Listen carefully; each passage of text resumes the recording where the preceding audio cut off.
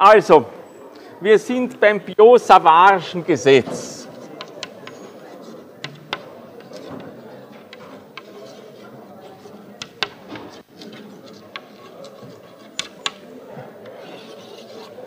Dieses Bio-Savarsche Gesetz ist äh, ein sehr wichtiges Gesetz zur Berechnung von Magnetfeldern. Wir haben ja jetzt schon mehrfach gesehen, wie das ist. Magnetfelder entstehen äh, aufgrund von Stromflüssen. Also auf den Strom kommt es an. Der äh, führt dann zur Ausbildung von magnetischen Feldern. Und wir hatten ja am Anfang dieses einfache Experiment mit äh, dem Ørsted-Versuch, geradliniger dünner Stromleiter. Und da äh, erkannten wir aufgrund von Beobachtungen mit der Magnetnadel und mit Eisenpfeilspänen, dass da so rund um diesen Leiter herum sich ein magnetischer Feldwirbel ausbildet. Aber es gibt natürlich andere wichtige Leitergeometrien, insbesondere eine Spule oder ein einzelner Leiterkreis, wo also auch das sich da, dort ausbildende magnetische Feld sehr wichtig ist.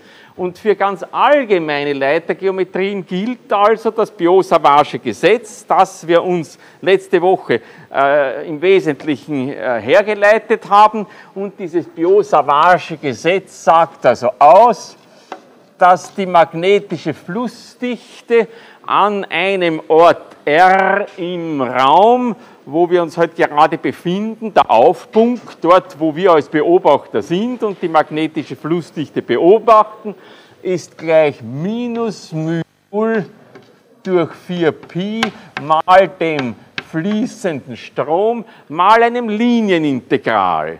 Und dieses Linienintegral, um das kommt man nicht herum, weil es geht ja darum, dass man irgendwelche längs beliebiger Kurven angeordneter dünner Leiter betrachtet. Also haben wir ein Linienintegral über eine Kurve c und diese Kurve c ist halt die Kurve längs derer dieser dünne Stromleiter im konkreten Fall halt angeordnet ist. Und dann gibt es da drinnen interessanterweise ein vektorielles Produkt und das werden wir uns heute anschauen, wie man damit in der konkreten Rechnung dann umgeht.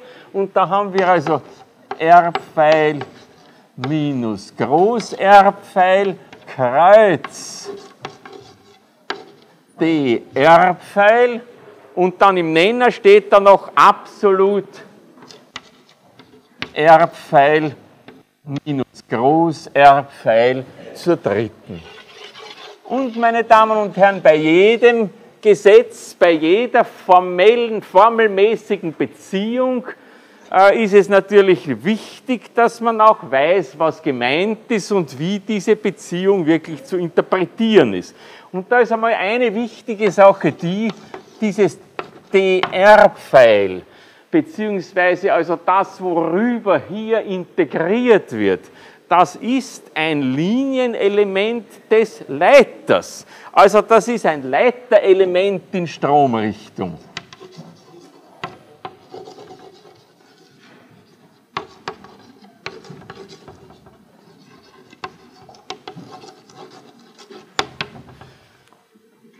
Und jetzt wollen wir uns zunächst einmal anschauen, bevor wir dann also konkrete Anwendungen davon uns anschauen. Wir werden nicht zu viel rechnen, keine Sorge, wir wollen ja keine Rechenübungen aus der Vorlesung machen. Aber damit man das Biot-Savage-Gesetz einigermaßen einordnen kann, ist schon wichtig zu sehen, wie man damit auch umgehen kann. Und ich bin überzeugt, meine Kollegen, die also die Übungen zu dieser Vorlesung äh, gestalten. Die werden dann Ihnen auch weitere Anwendungsbeispiele präsentieren bzw. Ihnen anleiten, dass Sie sich damit dann näher auseinandersetzen.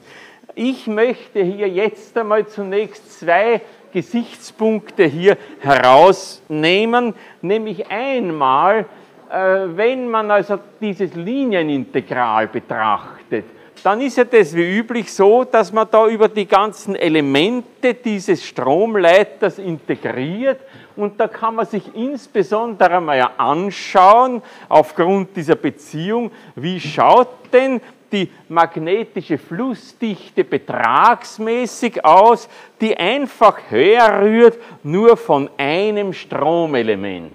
Also magnetische Flussdichte herrührend von einem Stromelement äh, dr-Pfeil. Längs dieser Kurve, entlang der eben also dieser Leiter verläuft.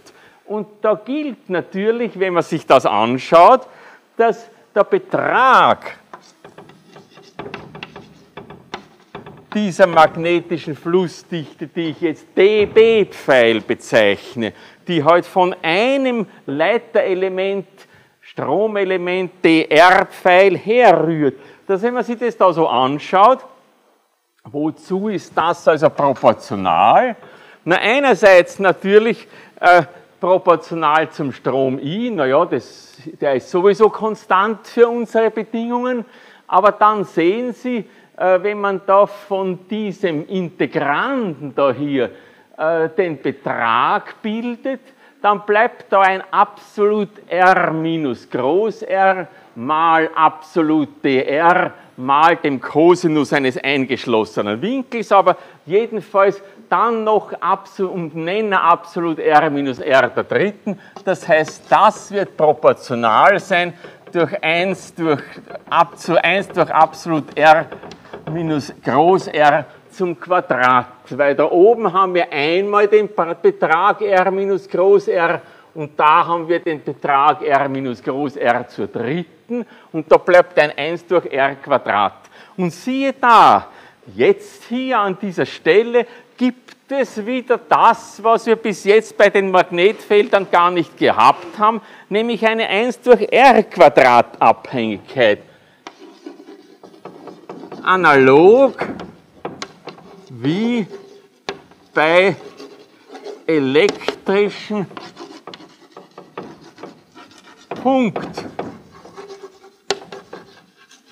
Punktladungen. Aber vergessen Sie nicht, wir betrachten da ja auch nur ein Stromelement. Das ist ja von der Geometrie her wie ein Punkt, der umgeben ist dann von dem Feld. Nur das gibt es ja nicht nur ein isoliertes Stromelement. Und wenn man dann letzten Endes das Feld eines ganzen Leiters betrachtet, das werden wir dann gleich anschließend durchführen, sehen Sie, dass dann doch wieder die 1 durch R Abhängigkeit herauskommt, wie man sie bei dieser Zylindergeometrie äh, rund um einen makroskopischen, geradlinigen Stromleiter eben erwarten würde. Also ich möchte hier nur erklären, woher es zu diesem 1 durch r der dritten kommt, da, r minus r der dritten, weil eben äh, da, wenn man den Betrag bildet, das dann sich gegen das eine wegkürzt und es bleibt ein absolut r minus groß r zum Quadrat. Wir hatten eine ähnliche Formulierung auch beim Coulombschen Gesetz, wenn wir es vektoriell anschreiben wollen. Da konnte man ja entweder schreiben den Betrag und dann mal r Dach wenn erdacht der Einheitsvektor längs der Verbindung ist, oder man schreibt mal den Verbindungsvektor durch den Betrag des Verbindungsvektors und dann hatten wir ein 1 durch r Quadrat mal den Betrag, ein 1 durch r der dritten, ganz ähnlich wie hier auch.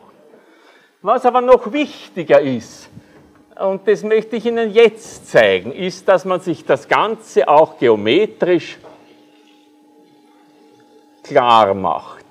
Also ich schreibe hierher geometrische Situation. Und da zeichnen wir uns heute einmal so einen Leiter auf, irgendeinen. Der liegt also meinetwegen da irgendwie halt so und in diesem Leiter fließt ein Strom I. Und es interessiert uns eben mit Hilfe des Biot-Savarschen Gesetzes äh, das Magnetfeld rund um einen derartigen Leiter äh, zu bestimmen, zu berechnen. Naja, und da müssen wir natürlich die Situation einmal klar machen. Dann nehmen wir mal zum Beispiel hier den Ursprung unseres Koordinatensystems an und da betrachten wir also ein solches Leiterelement, äh, ein Stromelement dieses Leiters, das ist ein DR-Pfeil. Das ist ein Hütchen, das das ein bisschen nach hinten zeigt. Das ist das D Groß R-Pfeil. Groß R, über was hier auch integriert wird, das ist eben hier äh, der Stromleiter, der da gemeint ist. Und der Vektor Groß R-Pfeil selbst, das ist der Ortsvektor des jeweiligen Stromelementes. Und andererseits befinden wir uns dann als Beobachter irgendwo hier an einem Aufpunkt P. Und der hat jetzt die, den Ortsvektor klein r-Pfeil. Und uns interessiert die magnetische Flussdichte an der Stelle, wo wir als Beobachter sitzen und wollen wissen, wie groß eben dort das B-Pfeil ist, herrührend von dem ganzen Stromleiter und zunächst einmal nur herrührend von diesem einen Stromelement hier. Naja, und da kommt es natürlich jetzt darauf an, dass es da einen Verbindungsvektor gibt. Das ist da wieder sein Hütchen, das ein bisschen nach hinten zeigen soll. Das ist in der, in der Tafelebene da ein bisschen drinnen. Dieser Verbindungsvektor von dem Stromelement zum Beobachter, zum Aufpunkt, das ist das klein r Pfeil minus groß r Pfeil. Das da immer wieder vorkommt. Das hat also eine ganz klare Interpretation. Das ist eben der Verbindungsvektor von dem jeweiligen Stromelement, äh, das zu einem entsprechenden Magnetfeld führt, bis hin zu dem Aufpunkt P, wo der Beobachter sitzt und wo ich gern weiß, wissen würde, wie groß dort eben die magnetische Flussdichte ist. Naja, und jetzt ist also die Frage, was wird also da für eine Flussdichte daraus entstehen? Ja, und da sieht man ja, da braucht man ja sich nur anschauen, wozu denn also dieses dB-Pfeil an dieser Stelle dort proportional sein wird. Und da ergibt sich sofort aus diesem Biot-Savarschen Gesetz, schreiben wir das auch wieder mit einer Proportionalität, aber jetzt vektoriell, nicht Betrag. Dieses dB-Pfeil wird einfach proportional sein zu dem Zähler, der da oben drinnen steht. Alles andere sind ja Konstanten. Dieses μ0 durch 4pi mal i, da fließt ein bestimmter Strom. Dieses absolut r minus groß r zur dritten. Na, i sitzt da, da ist das Leiterelement, der Betrag ist hier auch konstant. Aber dieses R minus Groß R Kreuz dr-Pfeil, das gibt uns jetzt die Richtung dieses Vektors dB-Pfeil an, der nur von diesem Leiterelement herrührt. Naja, und schauen wir, da steht minus R minus R Kreuz dr-Pfeil. Da können wir das umdrehen, tun wir uns leichter, geht das Minus weg und es bleibt dr-Pfeil, Kreuz und dann r minus Groß R. Das gibt Ihnen an die Richtung und auch den Orientierungssinn äh, dieses Vektors dB-Pfeil der magnetischen Flussdichte herrührend von diesem einen Leiterelement. Und wenn man es dann komplett haben will, muss man einfach nur über alle Leiterelemente summieren bzw. eben integrieren. Wenn man das genau machen will mit immer feineren Einteilungen, so wie das ja üblich ist immer beim Integrieren. Naja, schauen wir einmal. Da sehen Sie jetzt aber, da kommt jetzt was Wichtiges, ein wichtiger Aspekt. Wir haben hier ein Vektorprodukt. Das wird Ihnen bis jetzt vielleicht noch nicht so wirklich schlecht aufgestoßen sein, aber jetzt müssen wir uns darüber im Klaren sein, wo es also wirklich darum geht, das konkret zu interpretieren, dass wir mit dem Vektorprodukt auch so eine Merkwürdigkeit uns einhandeln. Da gibt es wieder so Geschichten mit rechts und links, linke Hand, rechte Hand, Rechtssystem, Linkssystem. Äh, es, die äh, Regel, wie also so ein vektorielles Produkt orientiert ist, geht ja so, dass wir sagen, die Vektoren, also wenn gleich a kreuz b ist c, nicht? Äh, dass die drei Vektoren a, b und a kreuz b so aufeinander folgen wie die drei Basisvektoren, die man betrachtet. Jetzt habe ich heute die rechte Hand genommen, aber wählt man als Basisvektorsystem ein Linksbasisvektorsystem, dann hat man so A, B und A kreuz B. Und das ist natürlich ein bisschen anders. In beiden, das geht schon, man muss nur warten, wie ist das so? Wir müssen es selber ausprobieren. Ach, ganz einfach ist es nicht. Also A, B und A kreuz B. Im einen Fall zeigt er rauf, im anderen Fall zeigt er runter. Sehen Sie das? Kann man das erkennen? A ist der Daumen, B ist der Zeigefinger, C ist der Mittelfinger, A kreuz B. Und klarerweise geht das beim einen rauf, beim anderen runter. Das haben halt die Hände so an sich. Nicht? Das ist eben so. Also ich glaube, Sie können sich das schon irgendwie klar machen. Woran Sie aber diesen merkwürdigen Pseudocharakter äh, des vektoriellen Produktes erkennen, den man dann wieder in der Tensorrechnung erklären kann mit Hilfe des Epsilon-Tensors, das wollen wir da nicht weiter ausführen, nur jedenfalls wichtig ist, da kommt ein solches vektorielles Produkt vor und wir müssen also, damit wir da konkret weiterkommen können, etwas festlegen bezüglich der Wahl des Basisvektorsystems. An sich ist man ja da frei, nicht? man kann ja so oder so, aber damit das irgendwie einheitlich ist, nehmen wir heute jetzt an, wir haben ein Rechtssystem. Wahrscheinlich kommt es daher, dass das so gern gewählt ist, weil man oft mit der rechten Hand schreibt. Aber es schreiben auch nicht alle mit der rechten Hand. Also es gibt nicht wirklich eine logische Begründung. Ich mache es halt jetzt so, weil man es auch in der Literatur sehr häufig so findet. Und dasselbe geht genauso mit einem Linkssystem. Also wenn man also jetzt ein Rechtsbasisvektorsystem mit den drei Basisvektoren entsprechend da so irgendwo wählt, da bei dem Ursprung, dann ist klar, wie das jetzt ausschauen wird. Denn das dB ist jetzt proportional dr kreuz r minus r. Na schauen Sie, wie schaut das aus? dr kreuz r minus r geht so hinauf. Das heißt, das dB zeigt da so nach oben.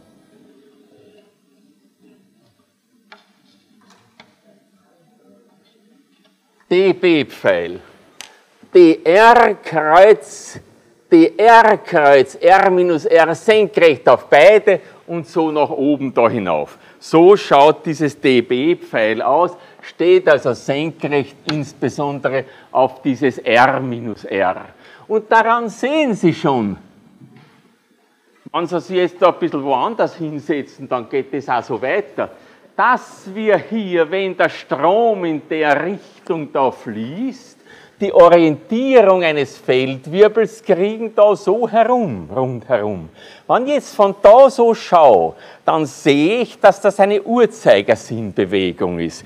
Und eine Rechtsschraubenregel bedeutet dann, wenn ich da eine Rechtsschraube so drehe, bewegt sie sich in der Richtung, in der der Strom fließt. Also auf diese Art und Weise hat man hier die Rechtsschraubenregel für das Magnetfeld, für den magnetischen äh, Feldwirbel in der Umgebung dieses Stromleiters. Man kann das auch noch schöner machen, indem man einfach nur die rechte Hand nimmt, es kommt aufs Gleiche, und die so legt, dass der Daumen in Richtung des Stromes zeigt, dann wird das Feld so rundherum gehen. Das ist sehr angenehm, diese rechte Handregel. Ist aber genau dasselbe, wie wenn ich sage, wenn sich das so im Uhrzeigersinn dreht, dann geht der Strom in der Richtung. Also können Sie sich das vorstellen. Wenn der Strom da so fließt und Sie wollen wissen, in welcher Richtung ist jetzt der Feldwirbel orientiert, dann und Sie müssen festlegen, was für ein Rechtssystem, also rechte Hand, nicht? also da so, rechte Hand, die da. Und wenn man die also jetzt da so legt, dass der Daumen in Stromrichtung geht, dann zeigen die anderen vier Finger so, wie die, das magnetische Feld seinen Feldwirbel rundherum macht. Ist das jemandem unklar? Merken Sie sich das zeitlebens. Es ist ganz einfach. Denn die rechte Hand oder die linke hat man ja immer bei der Hand und können es also jederzeit nicht sofort also sich klar machen, wie da die Feldorientierung in der Umgebung eines solchen stromdurchflossenen Leiters äh, äh, bestimmt werden kann. Aber was natürlich besonders wichtig ist, und das habe ich jetzt noch gar nicht so betont, ist, wenn ich also jetzt eine Spiegelungstransformation in ein Linksbasisvektorsystem mache, was ich ja auch darf, warum bitte nicht? Dann sollte man doch meinen, dass dieses im System das völlig egal sein muss, bitteschön, was ich für ein Basisvektorsystem verwende, um dieses System zu beschreiben, ist dem System selber reichlich wurscht. Naja, wenn ich aber jetzt ein Linksbasisvektorsystem mache, dann muss ich die Hand verwenden, der Daumen zeigt wieder in Richtung des Stromes, jetzt geht das Feld dann in die Gegenrichtung, das heißt, da würde der Vektor nach unten zeigen. Na, das ist aber doch eine mittlere Katastrophe. Jetzt zeigt das Feld auf einmal in die andere Richtung, obwohl sich nichts physikalisch geändert hat. Also das hätte man zum Beispiel beim elektrischen Feld nicht erwarten können, weil da war das ja ganz einfach, Kraft ist gleich Q mal E und da würde sich ja dann die Kraft umdrehen und das wäre also schon eine mittlere Katastrophe. Wenn nur da noch, was ich für ein Basisvektorsystem verwende, jetzt auf einmal dieses System eine andere Kraft hat. Nicht? Wenn das bei der Schwerkraft wäre, stellen Sie sich vor, wir machen eine Spiegelungstransformation und biegen alle an der Decke da oben. Nicht? Also das kann ja so nicht sein. Und der entscheidende Punkt hier ist, und das besprechen wir dann morgen genauer, ist, dass eben der Zusammenhang zwischen dem magnetischen Flussdichtevektor und einem dazugehörigen Kraftvektor dann auch einen solchen Pseudocharakter aufweist, sodass dann letzten Endes die Größen, auf die es dann ankommt, die Kraftwirkungen, davon wieder unbetroffen sind. Aber es ist ganz, ganz wesentlich, und das sollten Sie sich gleich an der Stelle klar machen, und morgen bei der Lorenzkraft wird das als recht klar, dass der äh, magnetische Flussdichtevektor ein Pseudovektor ist oder ein axialer Vektor, so wie die Winkelgeschwindigkeit. Erinnern Sie sich im Wintersemester an die Winkelgeschwindigkeit des Omega-Pfeil? Da haben wir da auch gesagt, im, im Rechts Basisvektorsystem zeigt es so nach oben und im Links zeigt es dann wieder so, so nach unten. Ist aber dieselbe Drehung, nur dieser Winkelgeschwindigkeitsvektor, der so quasi die Drehung symbolisiert, der schaut einmal dort hier und da, macht aber nichts, weil wenn man das dann wieder mit den Vektorprodukten richtig rechnet, kommt wieder immer die richtige äh, Fliehkraft und Geschwindigkeit und so weiter heraus. Ja? Das ist es heute. Halt dass wir in der Physik gelegentlich solche Pseudovektoren haben. Und zwar nicht nur irgendwelche so ganz äh, äh, so, so, so Outsider, so Exoten, sondern bisschen der Winkelgeschwindigkeitsvektor ist doch kein Exot, der kommt ununterbrochen vor, wenn es um irgendwelche Drehbewegungen geht. Und beim elektromagnetischen Feld, also der Magnetismus, so ein Exot ist der Magnetismus auch nicht. Und der wird durch einen Pseudovektor beschrieben, während die elektrischen Felder durch einen polaren Vektor. Das ist eine merkwürdige Kombination, dass also das ganze elektromagnetische Feld durch einen polaren Vektor, den E-Vektor, und einen axialen Vektor, den B-Vektor, gemeinsam also charakterisiert wird. Diese Sache löst sich dann erst wieder bei der vierdimensionalen Schreibweise auf, weil da sieht man dann, dass die bei dem 4x4-Tensor dann so angeordnet sind, dass man aufgrund des Transformationsverhaltens gleich sieht, wo also die polaren und axialen Teile sind. Aber das wollen wir uns jetzt nicht näher überlegen. Ich gebe, ich äh, gebe Ihnen nur schon jetzt äh, an, dass man also dann das alles in eine sehr geschlossene Form bringt. Aber es ist letztlich auch das mit den Maxwell-Gleichungen schon wirklich sehr geschlossen. Ist Ihnen diese Geometrie verständlich? Gibt es zu dem, was ich da aufgezeichnet habe, irgendeine Frage, was Sie nicht verstanden haben?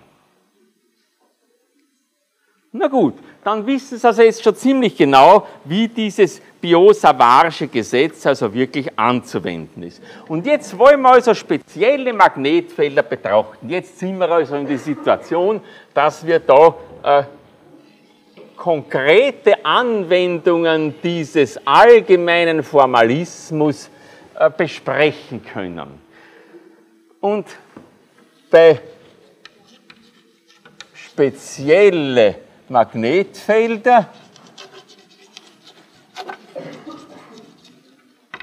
wollen wir zunächst naturgemäß das Einfachste, was uns eben da so einfällt, jetzt hernehmen wieder, und zwar den geradlinigen Stromleiter.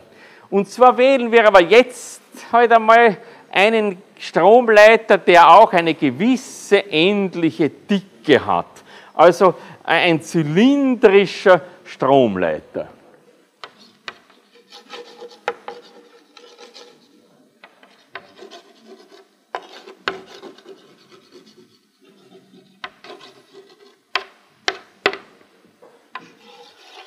Sie werden sich vielleicht aus der Elektrostatik noch erinnern, dass wir in der Elektrostatik äh, die Felder in der Umgebung von Hohlkugeln und Hohlzylindern und so meistens nicht so unmittelbar und direkt durch Lösung der, der, der Poisson-Gleichung bestimmt haben, sondern wir konnten auf dieses sehr praktische und oft anwendbare Gaußsche Gesetz zurückgreifen.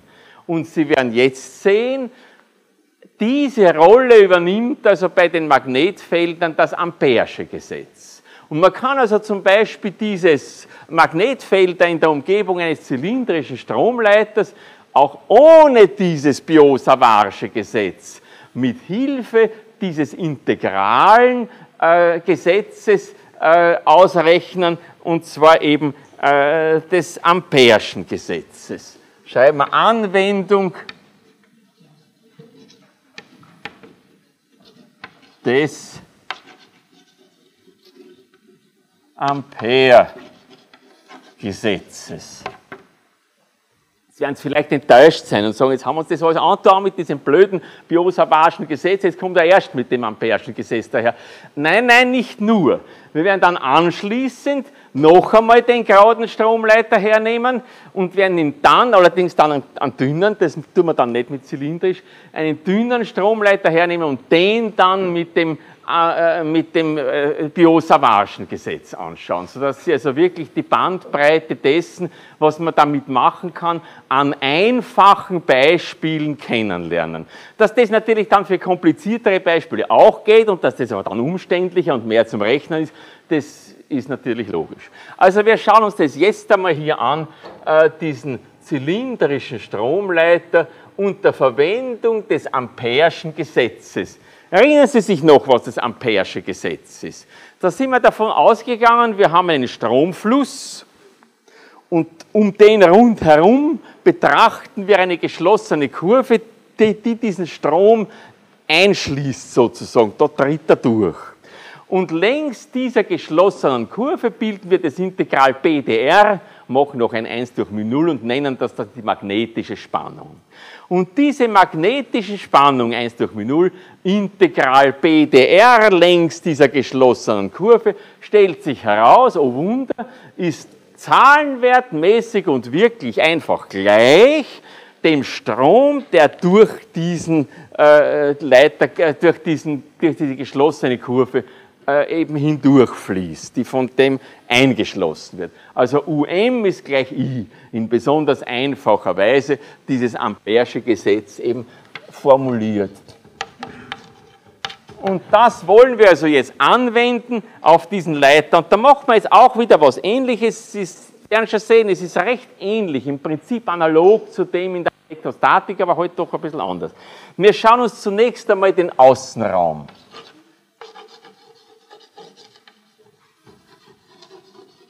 Den Außenraum dieses äh, Leiters, dieses zylindrischen Stromleiters an.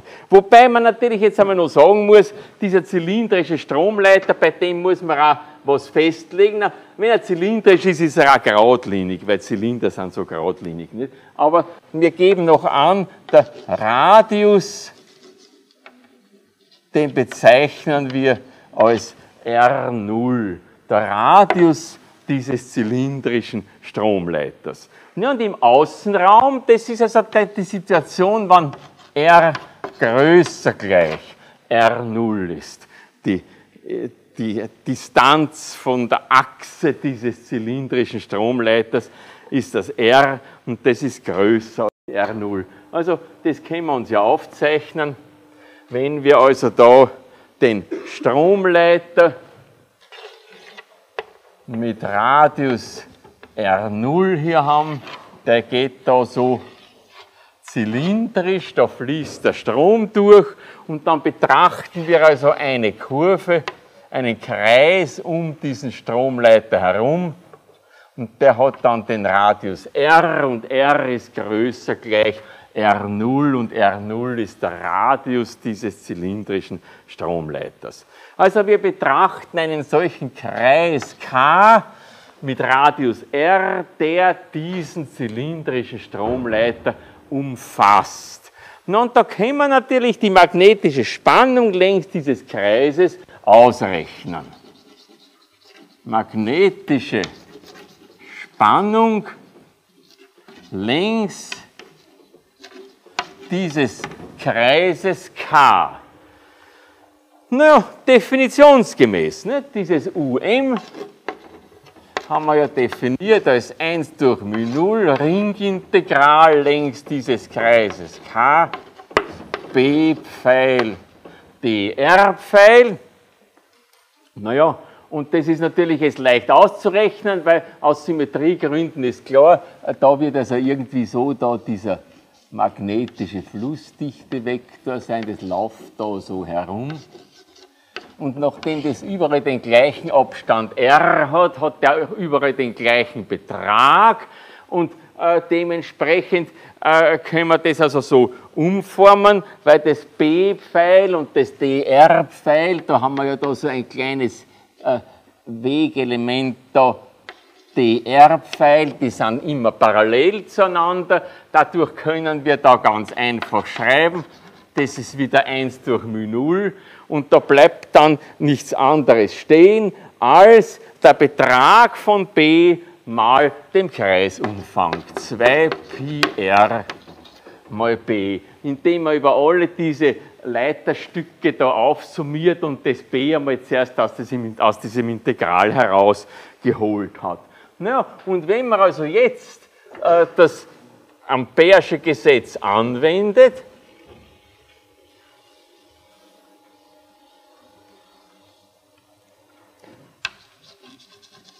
gemäß Ampere-Gesetz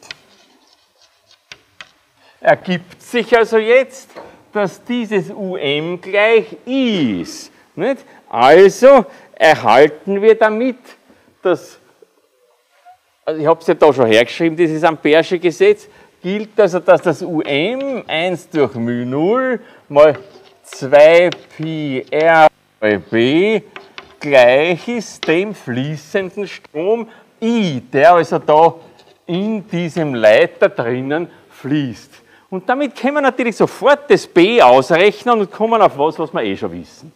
Äh, Folgerung, das B betragsmäßig ist dann also gleich μ0 kommt rüber 2pi hinunter, μ0 durch 2pi und dann bleibt stehen mal dem Strom I, der steht ja schon da, durch den Abstand R. Das ist ja unsere Ausgangsbeziehung gewesen, mit der wir überhaupt die ganzen magnetischen Phänomene begonnen haben. Äh, das war unmittelbar anschließend an die experimentellen Befunde des, äh, des Ørsted-Versuchs, sind wir ja zu einer derartigen Beziehung als äh, empirische Ausgangsbeziehung gelangt und alles weitere hat sich ergeben. Natürlich jetzt umgekehrt, wenn man jetzt wieder das Ampere'sche Gesetz anwendet, muss das natürlich auch wieder herauskommen. Sie sehen also, wie man das in diesem konkreten Fall machen kann. Das ist damit eigentlich gar nichts Neues. Zunächst aber, das ist es nur für den Fall r größer gleich groß, also für den Außenraum. Und jetzt, was also ein bisschen was Zusätzliches für Sie ist, ist, wenn wir uns jetzt anschauen, was passiert, wenn wir den Innenraum betrachten.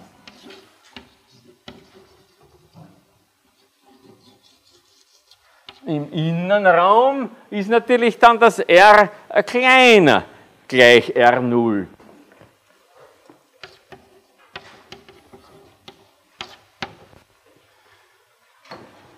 Naja, da haben wir die gleiche Sache, nur da ist also dann, na, dann nehmen wir auch wieder einen solchen Kreis an, äh, aber jetzt betrachten wir einen, einen Kreis mit Radius r kleiner gleich r0.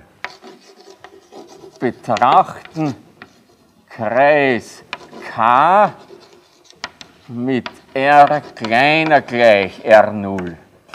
Das ist ein Kreis, der dann, vielleicht zeige ich den rot ein, der halt dann in dem Leiter da drinnen liegt, da so. Das ist jetzt unser Kreis K mit einem Radius r, der kleiner gleich r0 ist. Oder hätte ich mal da einzeichnen können. So einen kleinen Kreis halt betrachten wir da, der im Inneren dieses Leiters liegt und auch konzentrisch zur Leiter Achse verläuft. Ja, und da wollen wir auch wiederum die magnetische Spannung längs dieses Kreises anschauen. Naja, das UM rechnet sich ganz gleichermaßen aus wie vorhin. Das ist wieder, so wie es da schon steht, 1 durch 0 mal 2 Pi r mal b wobei das B eben jetzt die magnetische Flussdichte da im Inneren ist. Das ist dieses B, was dann da drinnen hier halt vorhanden ist. Aber ansonsten ist ja völlig die gleichartige, äh, äh, die gleichartige äh, Argumentation wieder mit dem 1 durch μ0 Ringintegral BDR führt genau auf dieses 1 durch μ0 mal 2 PR mal b. Denn auch hier ist das b betragsmäßig immer gleich und immer proportional zu d, also parallel zu dr. Also das kommt einem so heraus. Aber wesentlich ist jetzt, dass der von diesem kleinen Kreis umschlossene Strom nicht mehr der ganze Strom in dem Leiter ist. Wir nehmen an übrigens, dass also jetzt der Strom äh, in dem Leiter überall homogen verteilt ist. Also die Stromdichte soll über den Querschnitt des Leiters konstant sein. Angenommen, Stromverteilung homogen über den Querschnitt. Naja, dann kann man aber relativ leicht ausrechnen, wie groß denn jetzt der von K umschlossene Strom ist. Von dem K umschlossener Strom. Wir nennen den I R, weil es geht ja um einen Kreis mit Radius klein r der rote Kreis da, R kleiner gleich R0, wir sind jetzt im Innenraum. Na, das ist der Strom pro Flächeneinheit, das ist die Stromdichte, mal eben der Fläche dieses Kreises K da hier. Na, der Strom pro Flächeneinheit, das ist der gesamte Strom durch äh, die Fläche des Leiterquerschnittes, das ist Pi R0 Quadrat. Das ist jetzt die Stromdichte, Strom pro Querschnittsflächeneinheit. Und das multiplizieren wir jetzt mit, dem, äh, mit der Fläche dieses rot gezeichneten Kreises. Und das ist Pi mal r Quadrat. Das ist jetzt dann Strom, der Strom, der von dem Leiter von dem Kreis K umschlossen wird, ein Teil des gesamten Stroms. Na, da fällt natürlich das Pi heraus und das bleibt stehen I, I mal R Quadrat durch R0 Quadrat. Und damit haben wir aber wieder alles, was wir brauchen, um das Ampere'sche Gesetz anwenden zu können. Weil das gilt nach wie vor. Die magnetische Spannung ist gleich dem von dieser geschlossenen Kurve umschlossenen Strom. Der Strom, der von K umschlossen wird, ist eben der. Und daher ergibt sich jetzt wieder gemäß Ampere-Gesetz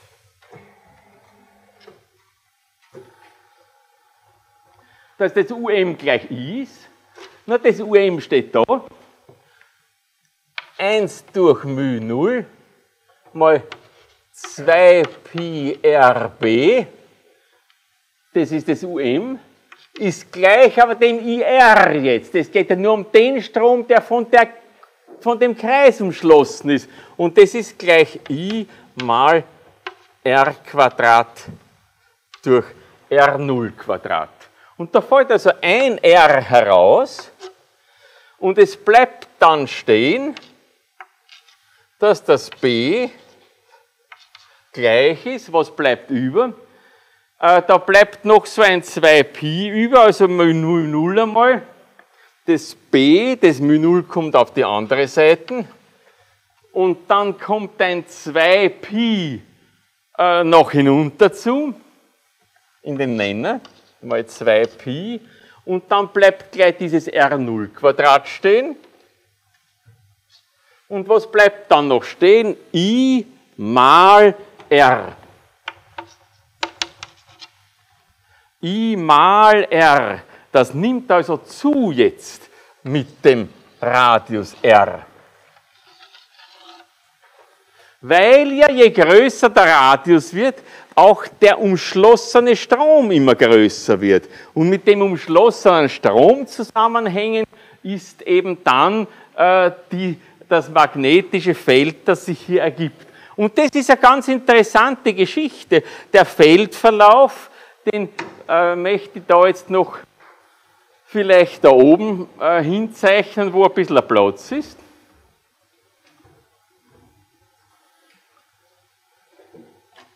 Der Feldverlauf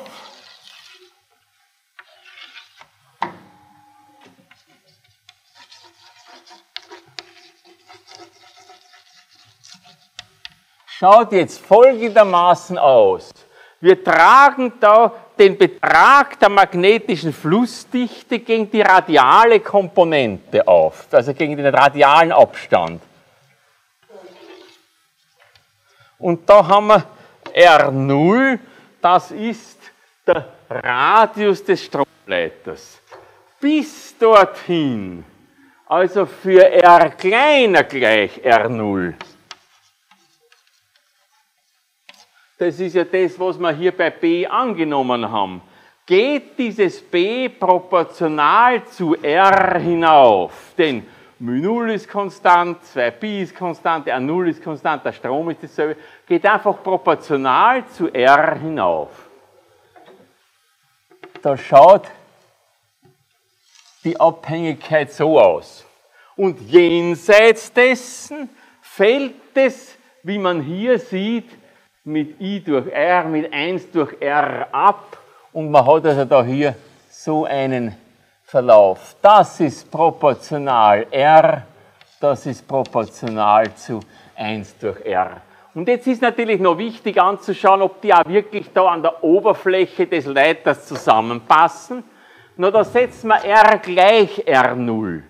Wenn wir da R gleich R0 setzen, dann haben wir R durch R0 durch R0 Quadrat.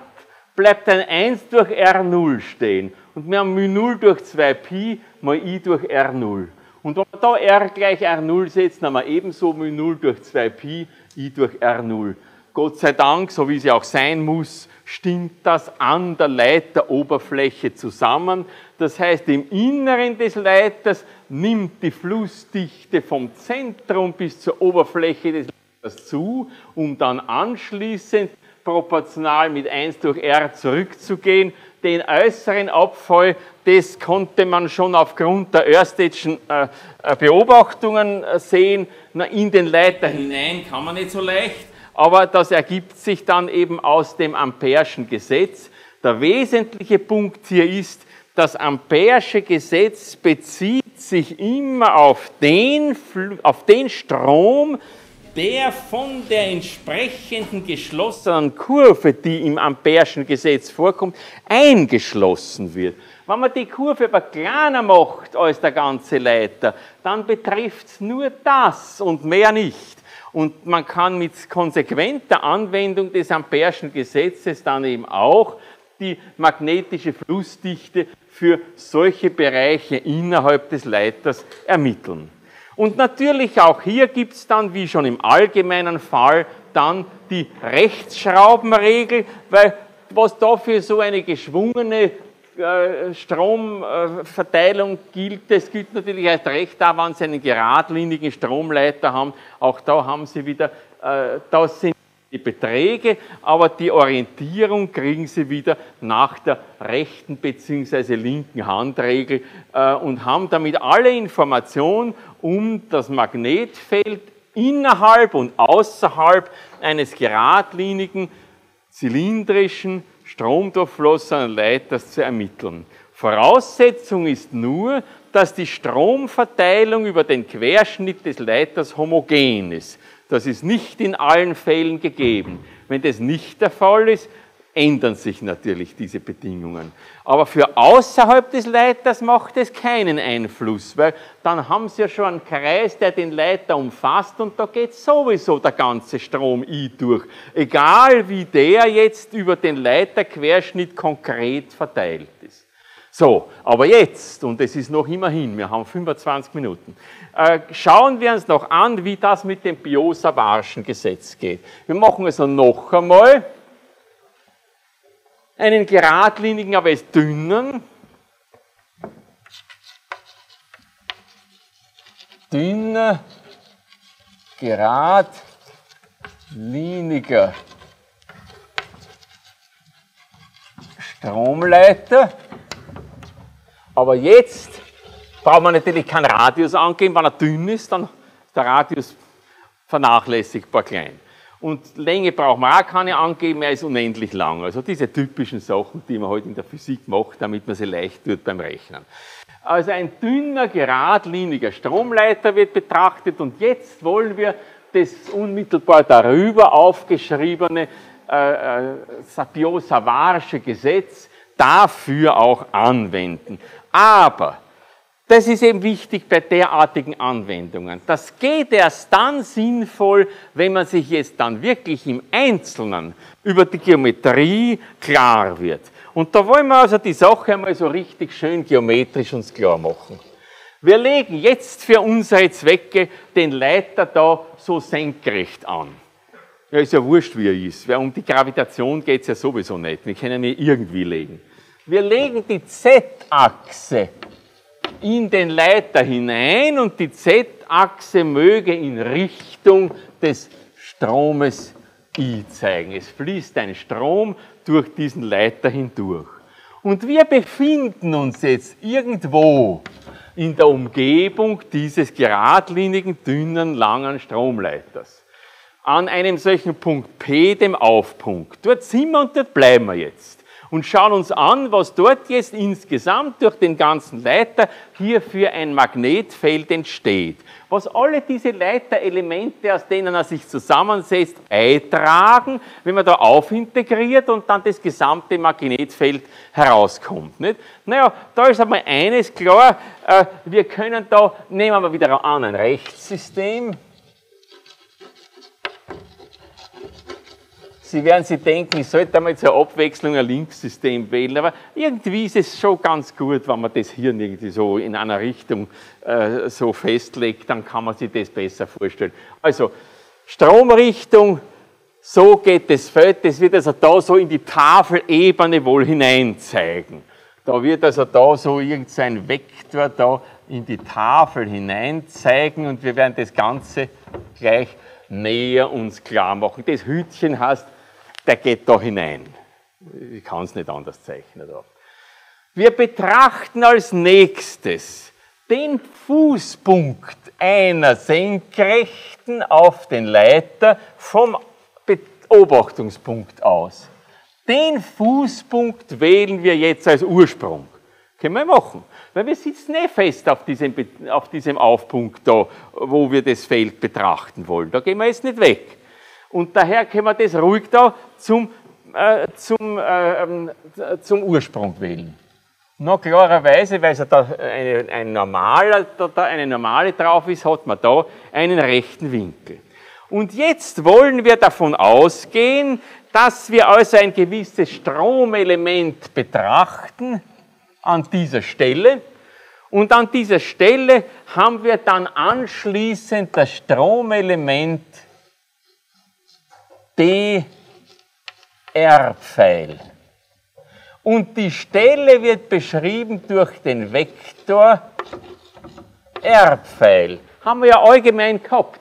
Groß-R-Pfeil ist der Ortsvektor des Stromelementes. Na, die Stromelemente liegen da alle so aufgefadert natürlich, alle schön parallel. Groß-R-Pfeil ist der Ortsvektor dieses Stromelementes, was eben durch den Vektor dr-Pfeil hier dargestellt ist. Na, das Klein-R-Pfeil, das von dem Ursprung da herüber zeigt, das Klein-R-Pfeil, das ist der Ortsvektor des Beobachtungspunktes, des Aufpunktes, da wo wir also sitzen. Na, der geht daher in der Richtung. Na, und dann gibt es natürlich ein klein r minus groß r, das zeigt so. Klein r minus groß r. Das ist der Vektor, der vom Stromelement zum Beobachtungspunkt hingeht vom Stromelement zum Beobachtungspunkt P hin, klein r minus groß r. Und Sie haben ja hier groß r plus klein r minus groß r ist klein r. Das passt hier so zusammen. Also so schaut da die Geometrie für unsere Betrachtung aus. Und Sie sehen einmal gleich, der Betrag von R-Pfeil, das ist einfach Z wenn da der Ursprung ist und das die z-Achse, der Betrag von r ist einfach z in unserem Koordinatensystem. Und daher ist der Betrag von dr-Pfeil gleich dz. z und dz. Dann haben wir noch den Betrag von klein r-Pfeil. Den bezeichnen wir einfach als klein r und klein r ist nichts anderes als der Abstand, den ich als Beobachter gewählt habe von diesem äh, geradlinigen Stromleiter. Also eine vorgegebene Größe. Und dann haben wir noch den Betrag von, na, den Betrag von klein r minus groß r. Das nennen wir jetzt einmal klein s, diesen, diesen Abstand da hier. Und letzten Endes wollen wir dem Winkel noch den Namen Alpha geben. Und wir müssen ja letzten Endes über alle diese äh, Leiterelemente dr von minus unendlich bis plus unendlich, z von minus bis plus unendlich aufintegrieren. Und da wird der Winkel Alpha dann von minus Pi halbe über 0 bis plus Pi halbe variieren. Ja? Verstehen Sie das? So, jetzt haben wir einmal da die Geometrie. Bei plus Pi halbe wird es unendlich. Wir reden auch von einem unendlich langen Leiter. Wenn das z von minus unendlich bis plus unendlich integriert wird, dann ergibt es für die Alpha-Werte von minus Pi halbe bis plus Pi halbe. Ja? Bei den uneigentlichen Integralen hat man oft so Integrationsgrenzen, wo an der Grenze dann der Integrant ja gar nicht mehr definiert ist. Das haben sie ja immer, wenn sie ein Integral von 0 bis unendlich zum Beispiel machen. Was ist bei unendlich? Das können sie nicht einsetzen, sondern das wird über Limes-Operationen definiert. Das sind die uneigentlichen Integrale, die Sie in der Mathematik kennenlernen. Und wir verwenden das da natürlich. Okay, noch irgendwelche Fragen? Ist Ihnen diese Geometrie verständlich? Ist ja keine sehr komplizierte Geometrie. Trotzdem muss man sie sich klar machen, dass man damit entsprechend rechnen kann. Naja, Sie können mir nur weiter unterbrechen, wenn irgendwas unklar sein sollte. Jedenfalls, wir werden also jetzt da anfangen, das Biot-Savarsche Gesetz hier konkret anzuwenden. Ich schreibe es einfach von da oben einmal ab.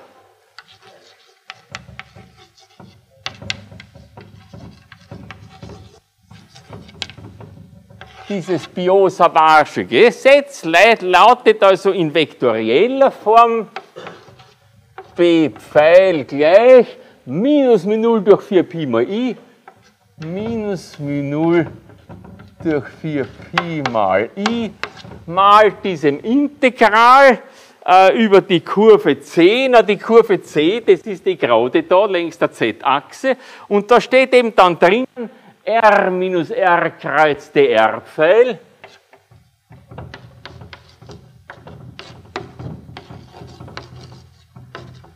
durch Trag R minus Groß R zur dritten. Wie in drei Teufelsnamen können wir das jetzt integrieren? Aber wir haben schon sehr viele Goodies uns hier zusammengeschrieben, die wir da jetzt gut verwenden können. Das Erste, was wir uns da jetzt überlegen wollen, ist, alle diese Stromelemente dr-Pfeil zeigen in der Richtung der z-Achse. Und daher, das R-Pfeil ist ein bestimmter Vektor. Das heißt, dieses R minus Groß R mal dr-Pfeil ist immer ein Vektor, der da so in die Tafelebene hineinzieht. Da haben wir so ein db-Pfeil. Alle diese dB-Pfeile sind parallel und zeigen nach hinten, weil R minus Groß R Kreuz dr-Pfeil ist immer ein Vektor senkrecht auf die von denen beiden aufgespannte Ebene und zeigt in die Tafelebene hinein. Wenn ich also den gesamten Betrag dieses Betrag B-Pfeil uns mir jetzt ausrechnen möchte, brauche ich nur die Beträge von den allen dB-Pfeil aufsummieren, weil die eh alle in die gleiche Richtung zeigen. Wäre das nicht so, müsste man da genau aufpassen. Aber in dem Fall können wir sofort zum Betrag übergehen. Da spielt uns dann das Minus keine Rolle mehr, weil Betrag ist immer was Positives. Also bleibt über μ0 durch 4pi mal i mal Integral. Und jetzt wollen wir da einmal über z integrieren von minus unendlich bis plus unendlich. Also von minus unendlich bis plus unendlich über z. Und damit wir das ordentlich machen können, wollen wir jetzt da alles entsprechend einsetzen. Also da haben wir zunächst einmal, das ist dr betragsmäßig. Dieses Kreuzprodukt, das ist der Betrag von dem, mal der Betrag von dem, mal der eingeschlossene Winkel. Der Betrag von dr-Pfeil ist aber dz. Der Betrag von r minus r, das haben wir s genannt. Und jetzt kommt der Sinus des eingeschlossenen Winkels. Aber der eingeschlossene Winkel zwischen dr und r minus r, das ist der Winkel da. Zwischen dr und r minus r. Der Winkel ist aber Pi halbe plus Alpha, weil da haben Sie wieder Alpha und da kommt noch ein Pi halbe dazu. Sehen Sie das? Ich glaube, das sieht man schon. Das ist nicht so kompliziert. Also der eingeschlossene Winkel ist Pi halbe plus Alpha, so haben wir also ein Sinus von Pi halbe plus Alpha. Und da haben wir schon das ganze Kreuzprodukt da drinnen jetzt äh, ausgerechnet. Und was bleibt da unten stehen? Ein absolut R minus Groß R zur dritten, ein S der dritten. Integral über dz von minus unendlich bis plus unendlich. Schauen Sie, das hat schon ein bisschen was von seinem Schrecken verloren. Jetzt haben wir also die ursprüngliche Formel, die ich Ihnen bewusst in voller Allgemeinheit hingeschrieben habe, für den konkreten Anwendungsfall hier einmal umgeformt. Und jetzt müssen wir uns natürlich über dieses S ins Klare kommen. Was haben wir da bei dem S? Na, zunächst einmal können wir da AS wegkürzen, bleibt ein S Quadrat da unten im Nenner stehen. Und jetzt, jetzt wollen wir da verschiedene Sachen einsetzen. Es gilt. Wissen Sie was? Das mache ich jetzt da herum. Da habe ich noch so schön Platz.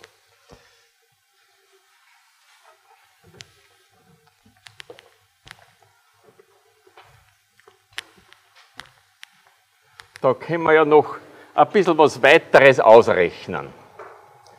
Wo wir also da die Dinge, die da drinnen stehen, jetzt irgendwie uns ermitteln können.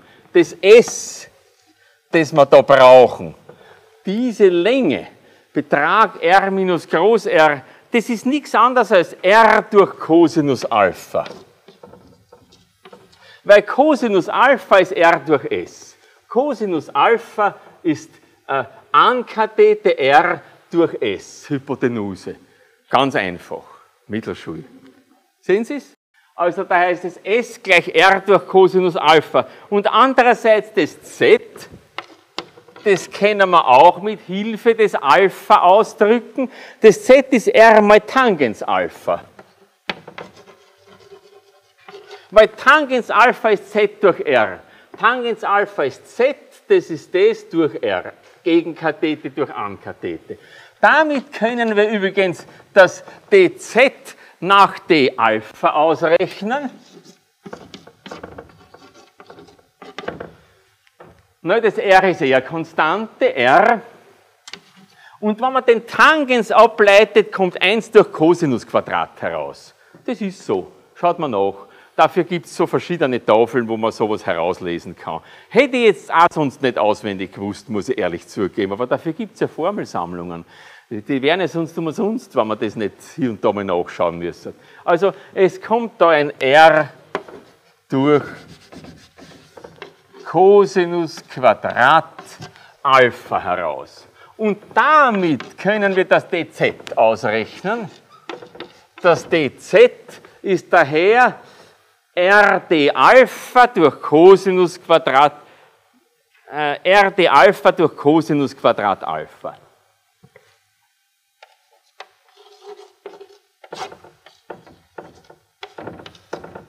Dz ist gleich Rd Alpha durch Cosinus Quadrat Alpha. Und schauen Sie, jetzt haben wir viel. Das dz steht da. Das s haben wir hier.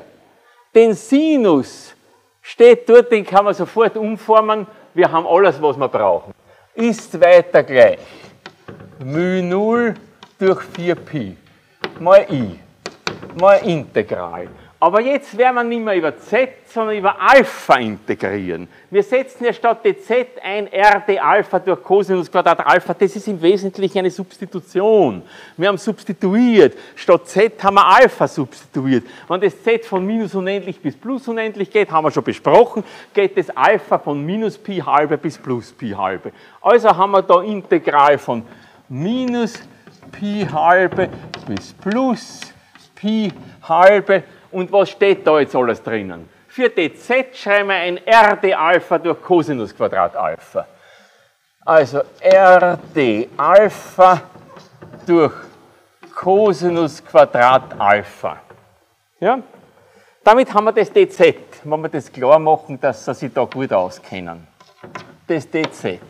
Dann haben wir da den Sinus von Pi halbe plus Alpha. Schreiben wir zuerst das 1 durch s Quadrat das 1 durch s Quadrat aus dem Nennen? Naja, das ist Cosinus Quadrat Alpha durch r Quadrat.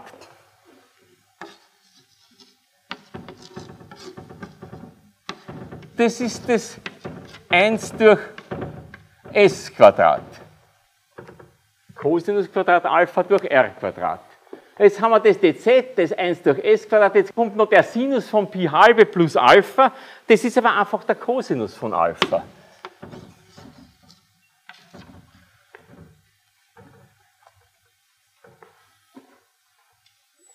Gut. Das ist so viel wie Sinus von Pi halbe plus Alpha. So, jetzt halte ich kurz die Luft an. Ist Ihnen was unklar? Sind Sie wo ausgestiegen? Kennen Sie sich wo nicht aus? Ist irgendwas schleierhaft an dem Ganzen? Genau das möchte ich ja vermeiden, dass Ihnen da jetzt was schleierhaft vorkommt. Sie sollen ja sehen, dass man mit dem Ding wirklich rechnen kann und dass es keine schleierhaften Sachen sind. Na gut, dann schauen wir uns das näher an. Über Alpha wird integriert. Da haben wir Cosinus Quadrat Alpha, da haben wir Cosinus Quadrat Alpha das r geht gegen dieses Quadrat da hier weg. Außerdem ist das r ja eine konstante Größe, das ist das, wo wir sitzen. Das heißt, es geht vor das Integral. Das heißt, was da jetzt herauskommt, ist weiter gleich schon sehr einfach. Das ist gleich μ0 durch 4pi mal i.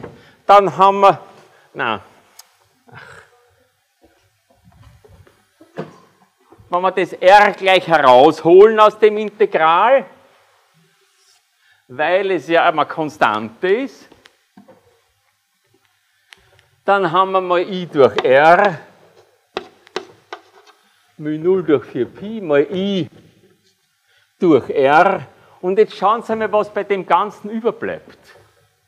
Ist eigentlich sehr bescheiden, was da überbleibt. Das Integral von minus Pi halbe bis plus Pi halbe einfach von Cosinus Alpha d Alpha. Cosinus Alpha d Alpha. Das ist weg, das R geht nach vorn. Schauen Sie nach, was da leicht rauskommt jetzt. Jetzt haben wir das so weit, dass wir da ein Trivialintegral haben. Denn den Cosinus, wenn man integriert, kommt der Sinus heraus, weil Sinus differenziert wieder den Cosinus ergibt. Also der Sinus und der Sinus Alpha von minus Pi halbe bis plus Pi halbe ist der Sinus von Pi halbe minus der Sinus von minus Pi halbe.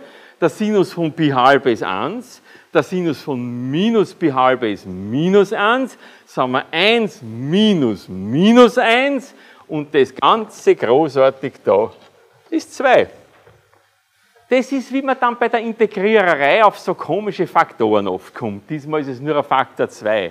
Aber diese Integrationen liefern dann manchmal 8 Pi Fünftel oder so irgendetwas oder irgendwas mit E, E, Pi und irgendwelche einfachen Zahlen das erkämpft man sich durchs Integrieren. In dem Fall ist es besonders einfach.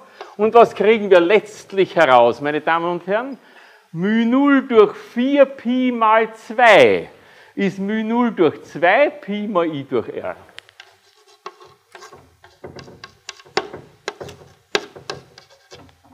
Und das ist der Betrag von b. Und das haben wir da oben auch stehen. Und zwar für den Außenraum für r größer gleich r0, μ0 durch 2pi, i durch r. Na? Doch nicht schlecht.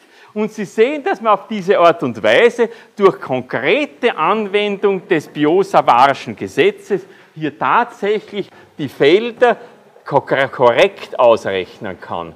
Und Sie sehen auch ganz konkret, wir haben jetzt aufintegriert. Und bedenken Sie, wir hatten da ursprünglich das Biot-Savarsche Gesetz, mit einem r minus r durch r minus r der dritten. Also eine solche 1 durch r Quadrat Abhängigkeit. Aber beim Integrieren hat sich das dann so ergeben, dass wir letzten Endes wieder eine 1 durch r Abhängigkeit bekommen. Sehen Sie das? Das ergibt sich dann dadurch, dass jetzt ja keine isolierten kleinen Stromelemente geben kann, sondern dass man sie natürlich zu einem ganzen Leiter aufintegrieren muss, sonst kann ja gar kein Strom fließen. Und daraus ergibt sich das dann, dass man da wieder ein 1 durch R bekommt, indem man da einfach aufintegriert. Na gut, soweit zu diesem biosavarischen Gesetz und jetzt möchte ich nicht zu üppig sein, ich hätte jetzt noch gern die langgestreckte, stromdurchflossene Spule gemacht. Die müssten wir jetzt auf morgen verschieben. Also die Spule und dann den kreisförmigen Stromleiter, den verschieben wir auf morgen, was irgendwie schade ist, weil morgen gibt es wieder etliche Experimente. Es kann uns passieren, dass wir gar nicht alle Experimente morgen durchbringen. Aber es gibt ja noch einen weiteren Tag. Dann kommt jedenfalls alles durch. Bitte. Es gibt keinen Innenraum, es ist ein dünner gerader Stromleiter. Das ist genau das, Ja. Okay, also wenn sonst jetzt keine Fragen sind, dann stelle ich fest, dass ich eine Minute vor Viertel heute aufgehört habe und also nicht sofort äh, wieder äh, darauf zurückgegriffen habe, dass ich sie schon wieder quäle mit Überzeiten und wir sehen uns wieder morgen. Danke.